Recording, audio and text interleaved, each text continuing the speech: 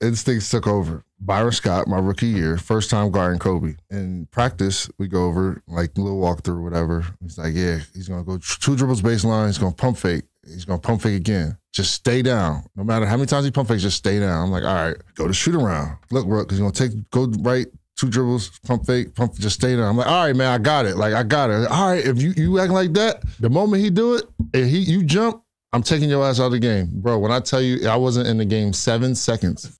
Sure enough, out of a timeout, I get subbed in, catches the ball in the wing, two dribbles right. What do I do? Boop. And one. And sub. I'm like, oh my God.